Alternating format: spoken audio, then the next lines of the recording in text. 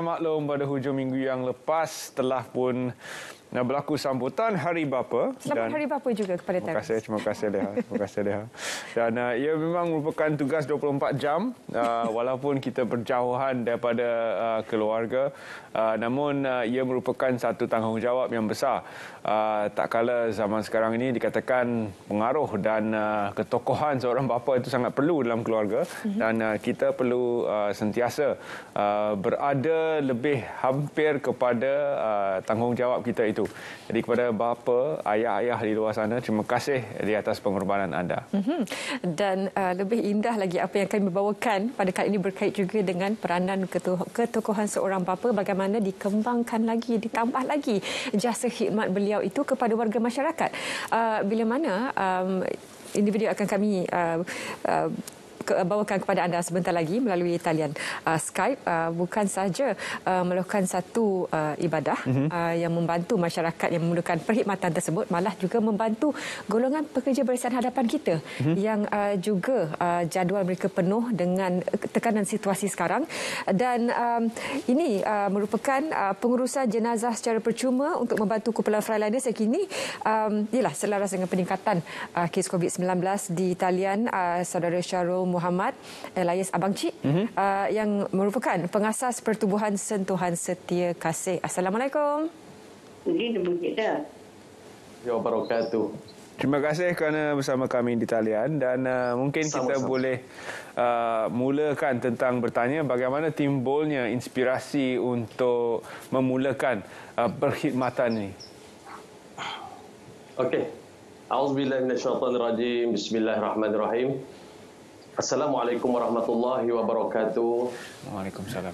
Nama saya Syahrul bin Muhammad uh, iaitu panggilan Abang Cik. Inspirasi saya macam mana uh, saya dapat inspirasi untuk melakukan tugas ini ianya tercetus semasa saya di Sandakan Sabah. Mm-hmm. Semasa saya di Sandakan Sabah uh, ketika kematian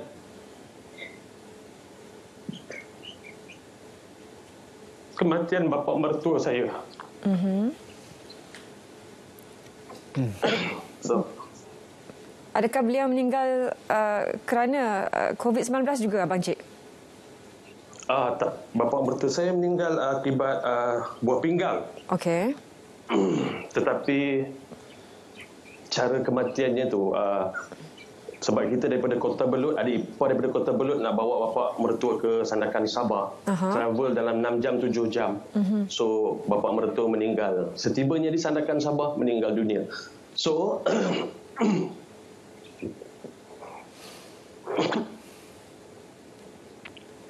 minta maaf eh. tak apa tak apa bang Cik takziah kami ucapkan kepada keluarga bang Cik ya. Insyaallah. Uh, bulan 11 uh, tak silap saya dah setahun yang berlalu saya sebut nama di sini tim yang paling baik, tim yang paling bagus dalam pengurusan jenazah secara percuma yang tidak mengenakan bayaran saya sebut namanya iaitu tim Abang Botak di Sandakan Sabah. Mm-hmm. Itulah inspirasi saya kenapa saya nak buat benda yang sama macam tim Abang Botak di Sandakan Sabah lakukan bila mereka bantu mertua saya daripada forensik mengambil jenazah sampai ke sampai ke tanah perkuburan. Dan ini merupakan satu pengorbanan yang besar kerana uh, perkhidmatan ini diberikan secara percuma dan juga dalam keadaan kita bergelut dengan COVID ini pelbagai uh, SOP perlu diikuti oleh seluruh tim anda. Jadi uh, Bancik, bagaimana anda mendapat latihan untuk uh, lakukan proses-proses berwajib dalam keadaan kita bergelut dengan pandemik ini? Jadi ini bermakna ada SOP tambahan kepada apa yang sedia ada. Silakan. Alhamdulillah kita manusia jangan sombong untuk belajar sentiasa belajar mencari kawan, mencari guru untuk belajar. Mm-hmm. Saya pun baru dalam pengurusan jenazah ini. Saya saya lakukan, saya daftar pada bulan 9 tahun yang lalu. Tetapi saya belajar dengan tim yang lama, tim pengurusan jenazah yang ada sebelum ini saya pergi dan pergi dan pergi mencari mereka dan menjadi sukarelawan mereka dan saya dan adik bersama adik angkat saya kami sama-sama mencari ilmu menimba ilmu untuk belajar ramai sebelum ini daya sebelum kami lah memang kami adalah baru so paling uh, orang cakap uh, mencabar iaitu ketika pandemik ni kami dapat satu ilmu tambahan hmm. dalam pemakaian PPE yeah. uh, bukan kata bukan sahaja uh, van jenazah yang digunakan tetapi ia sekali dengan pengurusan mengambus tanah tersebut uh, memang agak mencabar dan mencabar. Tetapi kami happy kami kami seronok kami sangat seronok sebab apabila doa yang kita dapat daripada keluarga-keluarga yang kita uruskan tersebut. Terima kasih dan juga doa mm-hmm uh, Abang Cik, boleh bagi Abang Cik ya? Abang Cik, kami boleh, nak tanya boleh. juga. Uh, kehilangan keluarga bagi mereka yang tewas kepada COVID-19 ni, kehilangan bagi ahli keluarga, um, kesedihan itu uh, lebih lagi sebenarnya sebab kita tidak dapat melalui pengemubian itu melalui cara yang kalau boleh kita kehendaki. Ada uh, had berapa orang boleh datang sekiranya boleh melihat langsung. Um, jadi kadang-kadang ada ahli keluarga yang galat tidak dapat berada dan tidak dapat jumpa. Uh, bagaimana Abang Cik memberikan ketenangan dari segi uh, yalah, menenangkan perasaan mereka dalam situasi kehilangan seperti itu? Alhamdulillah saya belajar taklah pandai tapi budi bahasa dan juga cara penyampaian. Kita berkomunikasi dengan seseorang insya-Allah. Saya sebelum uh, kita dah ambil jenazah saya akan maklum kepada keluarga. Pihak hospital pun dah maklum KKM PKD semua dah maklum. Tetapi saya akan maklumkan lagi saya dengan adik saya akan maklumkan lagi. insya-Allah jika waris izinkan untuk saya mengambil video ataupun waris izinkan untuk saya mengambil buat live video hmm. dan juga pihak tanah perkuburan kita kena hormat uh, yeah. situasi dan uh, lokasi-lokasi orang kita kena hormat uh, uh, penyelia tempat tersebut bila yeah. tempat tersebut memberikan kebenaran baru saya akan buat cara itu dan juga cara saya menenangkan kita tidak meletakkan jenazah dan tinggal saya akan cuba baca doa uh, yang saya pandai dan saya juga akan membacakan talqin, saya akan buat video, saya akan buat live, saya akan bagi kepada pihak keluarga. Mereka sangat happy. Itulah cara saya menenangkan keluarga tersebut insya-Allah. Mm-hmm dan uh, menyediakan perkhidmatan ini sudah pasti akan menambah satu lagi tanggungjawab kepada diri Abang Cik sendiri. Uh, bagaimana Abang Cik mengurus uh, semua ini satu tambahan yang agak besar uh, kerana mengurus jenazah 24 jam perkhidmatan yang ditawarkan uh, dan juga uh, isu-isu lain yang uh, sedia kita maklum bahawa kita mempunyai keluarga, kita mempunyai tanggungjawab-tanggungjawab lain dan ditambah pula dengan tanggungjawab ini. Jadi bagaimana Abang Cik mengurus masa dan bebanan tanggungjawab ini? Alhamdulillah Allah telah uh, Allah telah buka jalan satu pandemik COVID-19 saya bekerja di restoran so restoran pun ditutup so tak ada kerja hmm. so saya ada kerja juga buat pengah khidmat tuntutan insurans kemalangan. Eh, callman lah. Truck tunda. Hmm. pemandu truck tunda juga. So semuanya kurang kes. Alhamdulillah Allah bagi saya masa untuk saya tunaikan tanggungjawab ini bersama adik. Dan juga tanpa tanpa adik saya yang penting. Bukan adik betul saya tapi macam adik saya saya anggap Muhammad Firdaus Fadul Kifayah Muhammad Firdaus bin Abdul Hamid epic yang saya panggil. Sebab beliau adalah bekas seorang penggali kubur di majlis bandaraya Petaling Jaya hmm. daripada situ semangat saya untuk kita teruskan lagi dan juga bersama sahabat-sahabat saya bersahabat dengan penggali kubur, kawan-kawan penggali kubur, kawan-kawan ya surau masjid insyaallah. Hmm.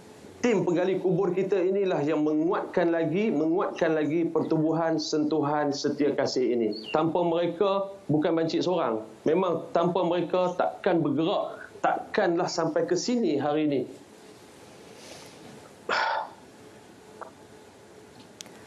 Baik, mereka lah hmm kiri kanan tulang belakang Bancik. Alhamdulillah. Mhm. Dan dari segi perlindungan keselamatan untuk Abang Cik dan juga rakan-rakan uh, yalah, tim yang lain, uh, kita tahu dengan terdedah kepada risiko dalam situasi sekarang, uh, bagaimana Abang Cik sendiri membuat, adakah Abang Cik buat swab test dari uh, masa ke semasa, uh, bagaimana pula untuk melindungi diri sendiri dulu sebelum berkhidmat kepada masyarakat?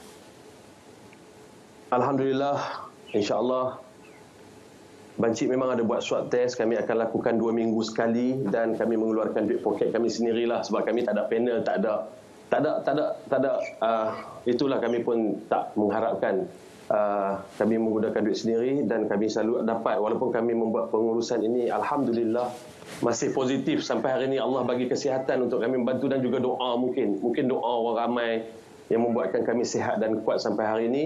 Dan juga uh, penjagaannya sebelum bancik balik bancik memang akan mandi dulu kat tanah perkuburan. Macam sekarang bancik memang di tanah perkuburan tempat kami standby. Mm-hmm. jika ada panggilan daripada KKM, PKD, pihak hospital, forensik dan juga waris. Uh, ini pun kita dah dapat sebancik dah dapat job order untuk lima lima lah lima untuk bantu lah insyaAllah. So Bancik balik-balik kepada jaga keselamatan tu Bancik akan mandi di tanah perkuburan dulu Salin baju Sanitize dengan detol lah. Baru akan balik rumah. Alhamdulillah Hmm. Ini penjagaan SOP yang begitu rapi daripada kalangan tim Abang Cik sendiri. Uh, sambutan Hari Bapa yang baru kita uh, sambut pada hujung minggu yang lalu sudah pasti ada uh, juga pengertian untuk Abang Cik. Jadi uh, kami mengucapkan selamat Hari Bapa kepada uh, seluruh ahli keluarga di dalam uh, keluarga Abang Cik. Mungkin ada pesanan untuk Abang Cik uh, kepada ayah-ayah, bapa-bapa di luar sana yang sedang menonton siaran ini. Silakan. Bismillahirrahmanirrahim. Allahumma salli ala Sayyidina Muhammad wa ala ali Sayyidina Muhammad. Kita adalah bapa, kita juga adalah ahli keluarga, ketua keluarga. Pesan saya, apa sahaja yang kita lakukan, jaga diri, jaga maruah diri. InsyaAllah, doa orang akan sentiasa bersama kita. Doa ibu bapa kita. Jangan lupa ibu bapa kita, insyaAllah. Mm-hmm. Itu saja yang saya termampu saya cakap doa itu penting bagi kami insya-Allah. Mm-hmm. Alhamdulillah. Alhamdulillah. Abang Cik merupakan ayah kepada empat orang anak. Ya, saya empat orang anak. Mm-hmm. Dan apa yang uh, adakah mereka juga akan bertanyakan uh, PKP tapi ayah selalu keluar mem- membantu masyarakat. Um, ada di antara mereka yang bertanyakan lebih lanjut tentang apa yang abang Cik lakukan setiap hari? Alhamdulillah. Uh, Depa dah faham dah uh, minta maaf cakap kedah lah. Apa ni depa dah faham. depa dah faham sangat setiap kali saya pakai baju ataupun saya nak keluar dulu dulu depa akan cakap Daddy nak pergi restoran ke ikan bakar. Mm-hmm. So masa tu kerja. So sekarang ni depa dah tahu masa saya nak keluar saya dah pakai baju, saya pakai seluar, saya pakai kepiah. Dia cakap Daddy, Daddy nak ambil jenazah ke? Hmm. Daddy nak ambil jenazah ke? Daddy sedekah Fatihah ya, tuah sedekah Fatihah, jebat kasturi, nur hmm. kasih. Dia akan bagi tahu macam tu. Jadi jangan lupa tahu baca bismillah, sedekah Fatihah. Dia orang dah faham sangat dah tentang hmm. penugasan-penugasan kami. Alhamdulillah. Itu dia suatu uh, pengalaman yang begitu unik yang uh, memberi manfaat kepada masyarakat dan uh, juga uh, sudah pasti uh, diberkati insyaallah. Terima kasih kita ucapkan amin, kepada amin, amin, amin, uh, Abang Cik dan juga tim yang bertanggungjawab untuk menjaga pengurusan jenazah. Uh, kata-kata semangat daripada Abang Cik kepada mereka di luar sana yang menghadapi dugaan dan cabaran tak kala uh, berdepan dengan pandemik ini. Kata-kata semangat saya kepada semua, jangan mudah putus asa. Setiap perkara yang berlaku adalah ketentuan daripada Allah Subhanahu Wa Taala. Kita tidak perlu menuding jari ke sana dan ke sini. Allah dah tetapkan begitu dan juga uh, perundangan kita ikut uh, macam mana kita ikut Allah dah tentukan begitu dan itu sajalah apa macam nak cakap lebih tak tahu so kita jaga kita jaga diri kita baik-baik insya-Allah jangan salahkan sesiapa ini adalah kerja Tuhan yang esa Mm-hmm. Abang Cik, kadang-kadang ada juga ahli keluarga uh, di masyarakat yang nak tolong tapi ahli keluarga tidak begitu menyokong. Uh, bagaimana sokongan isteri pula untuk memastikan uh, tanggungjawab di rumah ada sementara Abang Cik membantu masyarakat di luar? Alhamdulillah. Bagi followers-followers saya sendiri pun di Facebook, mereka dah tahu saya macam mana. Sebab saya tukang masak, saya tukang buat ayak. so, beras bini beli saya yang masak. Tentang masak makan di rumah, Alhamdulillah. Saya memang masak makan minum untuk anak dan isteri saya. So tak ada masalah dah tahu bahagi masa macam mana pagi nak masak apa sebelum keluar dan balik lagi apa lauk yang anak dah keluar daripada peti air saya akan masak insya-Allah untuk keluarga takkan takkan ada terjejas dan juga lupakan alhamdulillah. Alhamdulillah ini teamwork yang bagus. Beruntung sungguh si isteri di rumah.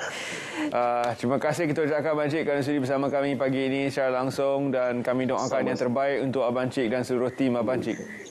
Mm-hmm. Dan semoga barangkali Amin ya rabbal Ya, semoga apa yang dilakukan oleh Abang Cik juga bakal menjadi motivasi kepada pihak lain juga yang berkemampuan untuk mm-hmm. membantu melakukan perkara yang sama. Uh, kita